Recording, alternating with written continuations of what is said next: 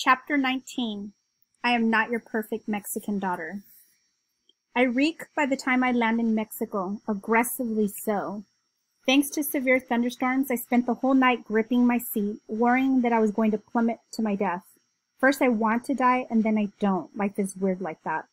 I look at my armpits and they are drenched. Not exactly a fresh start for me here. I search for my water bottle in my bag and discover it spilled all over my things. I probably didn't screw the cap on right. I don't know why, but I always do that. I can be so careless.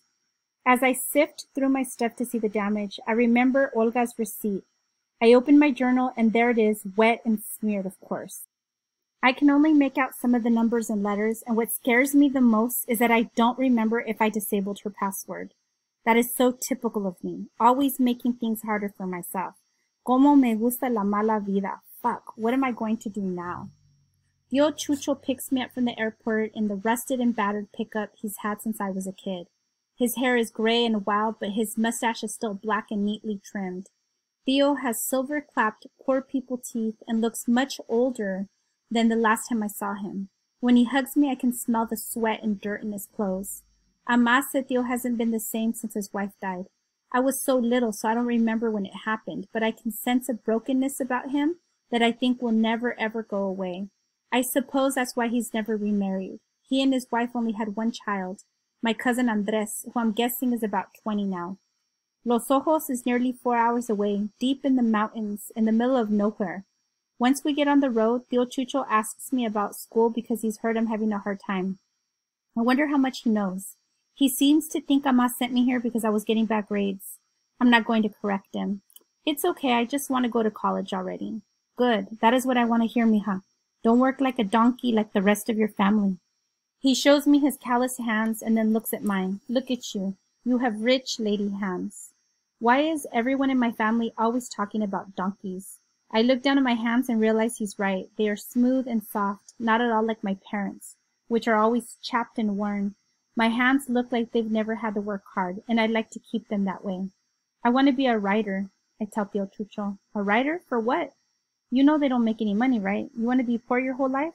I roll my eyes. I'm not going to be poor. Just make sure you work in a nice office. Remember, don't work like a donkey, I say, before he can finish. Tío Chucho laughs. Of course, you already know. I nod. Everyone tells me to work in an office, which shows they don't know me at all. That's why I never talk about what I want to do with my life. I'm so sorry about Olga, Tío finally says. What a shame. She was such a good girl. We all loved her so much. Ay, mi pobre hermana, la inocente. I wince. He didn't really know Olga. No one did. The day is bright with a few fat clouds scattered throughout the sky. The Sierra Madre mountains are so stark and impossibly tall that they fill me with an inexplicable panic. After studying them for a few seconds, I have to look away. I miss her, but it's better now. I finally tell Tío Time heals, etc. That's not true and he knows it better than anyone, but that's just what I say to make people feel better. Tío sighs. You know, we couldn't go to the funeral because we couldn't get visas. And then the money, of course. Que lástima. We are all very sad. We wanted to be there for the family. I understand, I say. I don't want to talk about my sister anymore, so I pretend to fall asleep until I do. I wake up with drool trickling down my chin. I must have slept almost four hours because we're already pulling up to Mama Jacinta's house. The land is dry and dusty, and my mouth is sour with thirst. Mama Jacinta runs to the pickup with her arms outstretched and tears in her eyes. She hugs me and covers my face with kisses. She's just as warm and soft as I remember, but her cropped hair is now entirely gray. Mija, mija, you are so beautiful, she says over and over. I start crying too. There's a crowd of people behind her, aunts, uncles, cousins, and people I either don't know or don't remember. My cousin Valeria, who is only a few years older than I am, has three kids now and they all look like eaglets. Tia Fermina and Tia Estela look almost exactly the same since the last time I was here. The Montenegro women don't age much, apparently. Their husbands, Tio Raúl and Tio Leonel, stand next to them, both wearing cowboy hats. Tia Fermina and Tia Estela hug me for a long time and call me mija, niña hermosa, chiquita. It makes me feel like I'm two years old, but I have to admit I enjoy it. According to Mama Jacinta, Everyone is related to me somehow. I just nod, smile, and kiss everyone on the cheek like I'm supposed to. The house is a brighter shade of pink than the last time I was there, and some of the adobe is cracked. The concrete additions look harsh against the softer colors of the original house, but that's how most homes look in Los Ojos, a clumsy mix of old and new. The cobblestone streets have been paved, which is disappointing because I always loved the smell of mud when it rained, and the bakery across the street has burned down, so I won't get to wake up to the scent of baking bread in the mornings. A lot has changed in the last few years. I'm rushed to the kitchen for dinner after I greet everyone. Mexican ladies are always trying to feed you, whether you like it or not. As much as I get sick of eating Mexican food every single day of my life, if heaven existed, I know it would smell like fried tortillas. Mama Jacinta gives me a giant plate of beans, rice, and shredded beef tostadas covered with sour cream, lettuce, and chopped tomatoes. You're too skinny, she tells me. By the time you leave, your mother won't even recognize you. You'll see. No one has ever called me skinny. I've lost a few pounds because the medication has made my appetite weird lately. One day I want to eat the whole world and the next day everything grosses me out. But I'm not even close to being thin. I finish the whole plate and then ask for seconds, which pleases Mama Jacinta. I also drink an entire bottle of Coca-Cola, which I normally don't even like, but it tastes so much better here. Tia Fermina and Tia Estela sit across from me and tell me how much they've missed me, and the rest of the family crowds around me and asks a million questions. How is your mother? How is your father? How cold does it get in Chicago? Why haven't you visited us in so long? When are you going to come back? What's your favorite color? Can you teach me English? I feel like a celebrity. My family back home never treats me this way because I'm the designated pariah. Here they even laugh at all my dumb jokes, every single one. Maybe Ama was right for once. Maybe this is what I needed. Mama Jacinta teaches me how to make the menudo they sell near the town square. Unlike the porqueria of other cities and states, her version is made with meat, leg bones, and maize. That's it. No chile rojo to hide the dirty tripe. First, Mama has to track down a butcher who's just slaughtered a cow. Then she and Tio Chucho pick up the buckets of dirty cow stomach and take them to a woman they've hired to wash it. Mama Jacinta says the poor woman is even more jodida than she is, and I believe her. I don't know what I would do if my job was to literally wash shit. Mama Jacinta says that she used to clean the meat in the river, but it became so polluted that she had to start washing it in an outdoor sink. Thank God, because yesterday I saw stray dogs splashing in that filmy water, what's left of it anyway. Once the meat is thoroughly de-shitted, it's rubbed with calcium oxide and left for a while. When the calcium oxide has softened the delicate inner skin, it's peeled off slowly and carefully. Then it's washed again and again until it gleams white as fresh snow. The piece of tripe that comes from the butt has a beautiful honeycomb pattern. This is called las casitas. The thinner tripe with horizontal grooves has thick seams called callo. All the pieces are cut into slivers, and the slivers are cut into squares. The nerves are tough and slippery and resist the knife. The raw meat has a strong animal smell, and as you slice and slice, the tissue inevitably gets under your nails, and the scent lingers on your hands for hours. The leg bones, the tripe, and the white maize are cooked in a giant pot all night on low heat. The texture of the meat can be shocking to the average American tongue, but I like it. The pieces are soft and chewy, and the surface of the soup glitters with yellow globs of delicious fat. It's topped with lime juice, white onion, and dry oregano. When we're finished slicing, Mama Jacinta gives me a bowl of yesterday's menudo and a cup of té de manzanilla. She says it's good for nerves. Why do you think I'm nervous? You're not? It's more complicated than that. Why don't you tell me about it? Thank you, but I don't really feel like it. I look down into an empty bowl. A fly lands on a tiny piece of meat. I wave it away. Are you afraid I'll tell your mother? Well, yeah. Whatever you say stays here with me. I know you and your mother don't get along, but you're more like her than you think, she says, stirring in the honey. I seriously doubt that. You know, she was always the rebellious one. She was the first one in the family to move to the other side, but you knew that, didn't you? I told her not to go, but she said she wanted to live in Chicago where she could work and have her own house. Rebellious, Ama? My mind can't process that. My mother is the most rigid person I know. She never listened to me, always did what she wanted. You shouldn't be so hard on her, mija. She's been through so much. Like what? I know my sisters died, and that's been a living nightmare for everyone. But is there something else I don't know? Something begins howling outside. Oh my god, what is that? Oh, the cats. They're very amorous right now. Even during the day, Mama Jacinta smiles. Gross. And they're two boy cats. Can you believe that? Gay cats? I gasp and slap the table. I've never heard of such a thing. Mama Jacinta chuckles. Okay, back to the story, Mama. What else happened? Is there more? She shakes her head, her pale face suddenly pulled into a deep frown. The menudo gurgles in my stomach. The animal taste crawls up my throat. They got robbed when they crossed the border, she says, wiping her hands on her apron and looking toward the door. Yes, they lost all their money. Didn't your mother ever tell you that? Yeah, she said it was the worst days of her life, but that was before Olga died. Mamá Jacinta rubs her temples, as if this conversation were giving her a headache. Ay, mi pobre hija. She's had such a bad luck in this life. I hope God has mercy on her from now on. She's suffered too much. I don't know what to say, so I drink the rest of my lukewarm tea and watch one of the cats pace back and forth outside. Chapter 20 When I look in the faded mirrors in Mama Jacinta's house, sometimes I think I almost look like my sister, which means I kind of look like my mother, especially when I take off my glasses.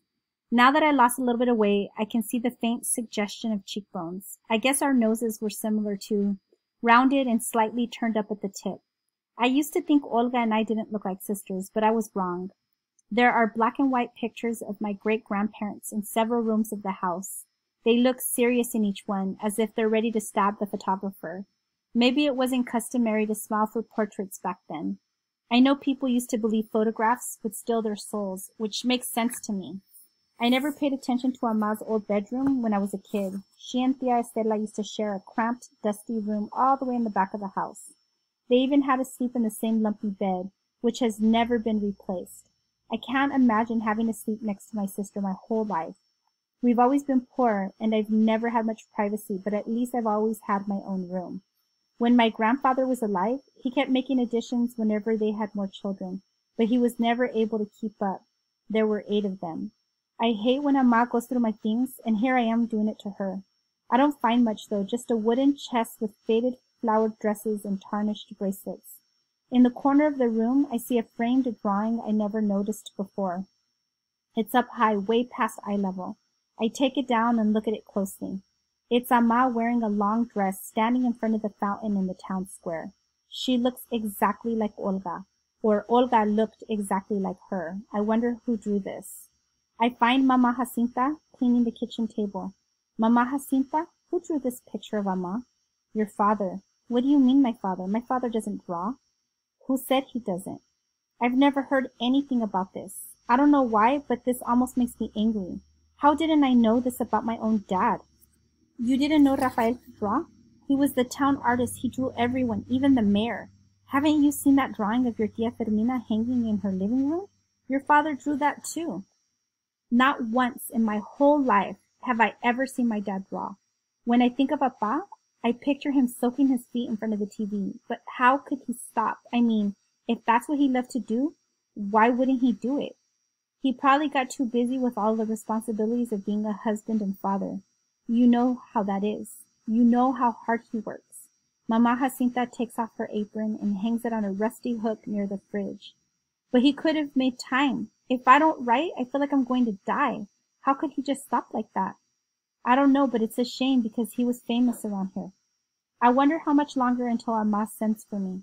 Sometimes I lie awake thinking of what I'll do when I get home. How am I going to find Olga's boyfriend, or should I call him her lover? That word sounds ridiculous, though. I can go to her old office, but I have no idea who he is. Two things are clear, though. He wanted to make sure no one would ever find out, and he's the kind of person who could afford an expensive hotel almost every week. He has to be a doctor. The nights are usually quiet, except for the meowing cats or the rooster next door that never knows what time it is. I like it when it rains because the soft pitter-patter on the tin roof is soothing, but it never lasts more than a few minutes. I twist under the scratchy blankets, thinking about Olga and worrying about what will happen to me if I miss too many days of school. I write notes to myself about what to do when I leave. 1. Read all of Olga's emails. 2. Talk to Mr. Ingman about what to do about my absences. 3. Find a summer job so I can pay for my trip to college. When I'm lucky, I fall asleep before the sun comes up. My cousin Belen, Tia Fermina's youngest daughter, is the town hot girl. She's dark, blue-eyed, and about a foot taller than I am. Her waist is impossibly small, and she loves to show it off in half shirts and skin-tight dresses. Wherever we go, every living creature eyes her up and down. I swear to God, I even saw a stray dog check her out. She gets marriage proposals when we walk down the street, and all she does is laugh and flip her hair. I feel kind of ugly next to her. Belen has decided that she's going to show me around and introduce me to anyone we see. She comes over to Mama Jacinta's house after school and drags me out, though I'd rather stay in the yard reading. My cousin doesn't understand that I can be very awkward and that I don't like talking to strangers. Today we said hello to a pair of twins nicknamed Gorduras and Mantecas, literally fats and lards, in front of the supermarket. Mexican nicknames are as cruel as they are hilarious. We usually get ice cream or aguas frescas from the town square and then take a tour of Los Ojos, even though I've been here before. When we go up and down the hills, I study all the colorful houses and try to peer inside, since everyone leaves their doors open during the day. Usually I don't see anything interesting, but yesterday I saw a woman in a towel dancing to Juan Gabriel in her living room. I like taking these walks during dinner time because of the dinner smells wafting from the houses. Toasted chiles, stewed meat, boiled beans. Belen gossips about everyone in town, even when I have no idea who they are. The latest dirt is that the lady who owns the most popular burger stand is having sex with her second cousin. She also tells me the story of a man named Santos who left Ojos many years ago with the dream of becoming a dancer in Los Angeles. He tried crossing the border several times before he gave up and stayed in Tijuana. The rumor was that he began dressing like a woman and became a prostitute. When he returned to Los Ojos several years later, he was practically a living skeleton. Toward the very end, the sores all over his face and mouth attracted flies. His mother would sit next to him and shoo them away with a rag. Some of the townspeople said that it was his own fault for being gay, for bending over for all of Tijuana. I keep trying to interrupt and explain to Belen that AIDS isn't a gay disease, that anyone can get it, but she doesn't listen. She never seems to listen to anything I say. I feel a longing in my chest when we pass Apa's abandoned childhood home. Mama Jacinta points it out every time I'm here. No one has lived there in a long, long time, and it's about to fall apart. All of my father's brothers and sisters are scattered across the United States, Texas, Los Angeles, North Carolina, and Chicago. His parents died right after he and Ama left Los Ojos. My grandfather got a tumor that ate away his lungs, and my grandma followed him a few months later. They say she died of sadness. Can I miss people I've never met? Because I think I do. Belen tries to get me to talk to boys from her school, but I'm never interested in any of them. Maybe it's because of the medication, but sex, anything related to it, is not really on my mind. That's where the narcos beheaded the mayor, Belen says casually, after we pass a group of her friends.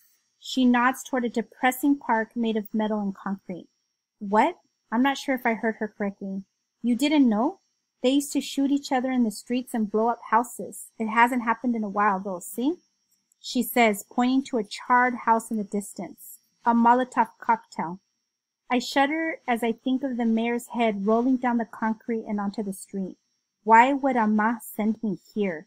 Are we safe? Would they murder us too? I feel hot and cold at the same time. I jump when I hear a bird squawk. Belen laughs. No, tonta. Why would they care about you? Unless you're trafficking drugs and didn't tell me about it. I shrug, feeling stupid. Oh, but never ever stay out late, especially alone. No one does anymore. Chapter 21 My cousin Paulina is turning three, so I can't imagine that slaughtering and frying an animal would be very exciting for her, but that's how parties always are. Every milestone or accomplishment leads to alcohol and obscene amounts of fried meat. That afternoon, Belen, Mama Jacinta and I walk over to the venue where the rest of the family has been preparing all morning. When we cross the town square, the Indian ladies with long black braids that look like rope try to sell us nopales. Their thick hair reminds me of Apa. Strangers on the streets have offered her money in exchange for her shiny braids. The women sit on the ground with a large wicker basket full of peeled and spiced cactus in little plastic bags.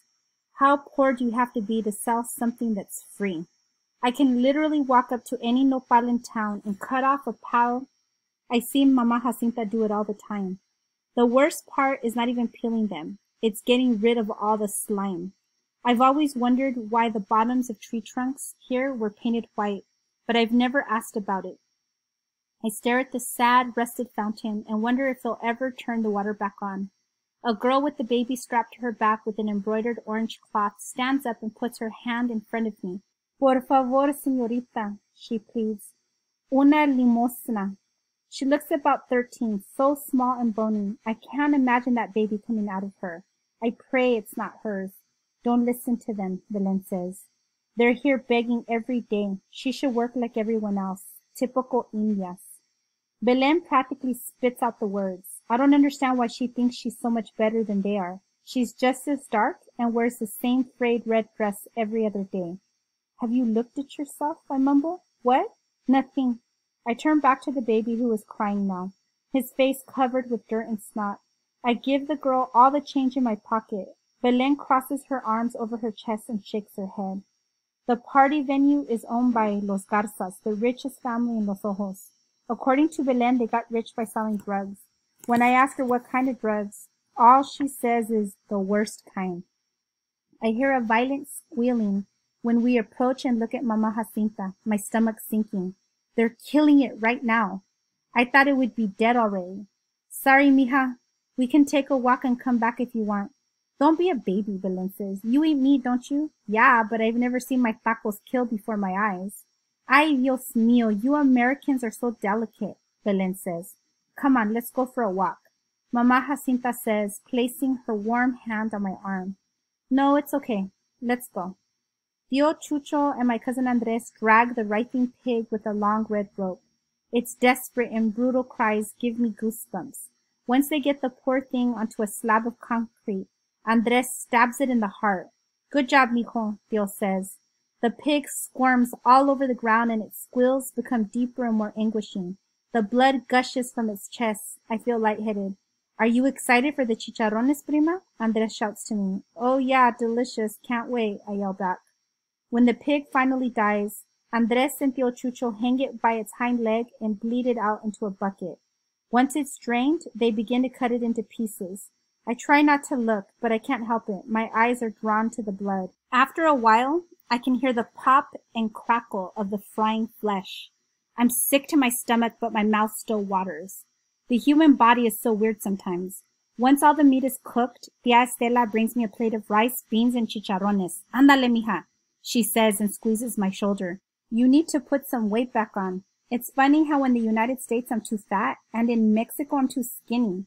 I know Tia is worried about me. The Montenegro women are all excellent warriors. I smile and say thank you, because the rudest thing you can do to a Mexican lady is refuse her food. Might as well spit on a picture of La Virgen de Guadalupe or turn the TV off during Sábado Gigante. I take a few chicharrones, put them in a soft tortilla, and drown them in dark red salsa. I eat them without much difficulty, but when I make my next taco, I see a few thick hairs jutting from the skin. I don't want everyone to think I'm a spoiled American princess, so I close my eyes and inhale the taco as quickly as possible. I imagine my face a beautiful shade of putrid green when I'm finished, but I'm proud of my triumph. The dance floor begins to get crowded once everyone is full of pig meat. The music is tinny and crackly, partly because of the cheap sound system, but I still like it. The accordions sound ridiculously joyful, even when the songs are about death. Tia Fermina and Tio Raúl dance cheek to cheek. Belen dances with Mama Jacinta's lanky next-door neighbor. I watch everyone's jumpy little dances as the sun bakes me into a cocoon of laziness. I start to nod off in my chair when Andres pokes me in the shoulder and tells me we're going to ride horses. Come on, prima, he says, pulling me up. I'm tired. I don't feel like it. I try to slump back down. It'll be good for you. How? Trust me. Defeated, I follow Andres to the field next to the venue where two black horses are tied to a fence. This one is Isabella, he says, pointing to the smaller one, and this is Sebastian. Andres rubs the horse's side and smiles. Nice to meet you. I pretend to shake their hooves. They're married, you know. Married? What are you talking about? Imagining Isabella in a wedding gown makes me laugh so hard I snort. Did they have a wedding? Did they waltz? Did she throw a bouquet? Obviously, they didn't have a wedding, Tonta, but they're a real couple. Andres seems annoyed that I find it so funny, that I'm having a hard time believing in romantic love between two animals. Really? When they're separated, Sebastian cries, I swear to God, big fat tears. Andres looks serious, so I stop laughing. He even crosses himself to make a point. As Andres gets the saddles from the shed, I pet Isabella's back and run my fingers through her coarse black mane. Her coat is so dark it's almost blue. Her muscles are tight and shimmer in the sunlight. I don't think I've ever seen something so beautiful in my whole entire life. It's almost bewildering. I'm surprised by how much I love being on a horse again, to feel its tremendous strength under me. Andres and I ride toward the river. It's quiet except for the clackling hooves and buzzing insects in the yellowed grass. A flock of gray birds passes over us and settles in a giant tree. Doves, Andres says. The river is nearly gone now because of the drought. The only water that remains is brownish green and full of garbage, plastic bags, bottles, wrappers, and even a solitary shoe. I shiver when I remember my dream about Olga as a mermaid. I can still see her glowing face so clearly. The abandoned train station next to the river is boarded up now, the red paint peeling off in giant strips. The tracks are rusted and the wood is worn. Andres says the train has been gone for years now. It used to be bustling with people, but the company was crooked and couldn't sustain itself. I remember Mama Jacinta bringing me an Olga here when I was little. She bought us tiny wooden boxes of cajeta that was so sweet and sticky it hurt my teeth for hours. I also know that Papa Feliciano used to take this train to sell pots and pans in other towns. He died before they closed the line. I guess in a way it's good that he never saw it shut down. He loved that train. Big fat flies begin biting Isabella's face and neck when we approach a clearing. She shakes her head to get them off, but it's no use. Even if I swat them away, they come right back. My hand is smeared with blood when I rub her where the flies have landed. I kiss the back of her head when Andres isn't looking. We ride along the river until the sun dips behind the trees and the crickets begin to sing. A field of corn in the distance looks dry and shriveled, and I wonder what would happen if someone flicked a match at it. I could ride Isabella forever, but Andres says we should get back to the party so Mama Jacinta doesn't worry. When I say goodbye to Isabella, I press my face against her side and run my hand over her back. I think I can hear her heartbeat. Suddenly, I remember the time Olga and I rode our great uncle's horses, the second time we came to Los Ojos. At first, I was too scared, but Olga told me that the horses wouldn't hurt me because they were magical creatures, and I believed her. Andres laughs. What are you doing? I smile. Nothing. Just giving her a hug. Tio Chucho walks toward me, holding a beer. Ándale, mija, let's dance. He looks a little wobbly. No thanks, Tio, I'm not much of a dancer. Nonsense, he says, and leads me to the dance floor. The Montenegros are the best dancers in Los Ojos. The song is about three girls who drive to a carnival and plummet to their deaths when the truck flips over the side of a cliff. I'm not sure why anyone would want to dance to that. The old Chucho smells like he's sweating beer. His shirt is damp and his skin is sticky, but I keep dancing because I don't want to hurt his feelings. He's having a great time, spinning me around and singing along at the top of his lungs. After the third song, a group of men wearing black masks and holding rifles walks toward the entrance of the venue. Tío lets go of my hand. His face slackens. Chingue su madre, he mutters. ¿Qué, Tio? What's happening? Nothing, mija. I'll take care of it, Tío says and walks toward them. Everyone looks stiff and worried, but no one says a word. It's suddenly a party full of statues. Andres just keeps blinking. He looks like he might pass out. Are they soldiers? Are they narcos? I have no idea. One of the masked men stares at me the entire time as if he's drilling holes into my body with his eyes. Tio Chucho pulls an envelope from his pocket and hands it to one of the men, who nods toward Andres. Tio returns to the party looking pale and terrified. When the man finally turns away from me, I notice a faded Santa Muerte tattoo on his forearm. What the hell was that? I whisper to Belen. You need to stop asking so many questions, she says, and turns away from me.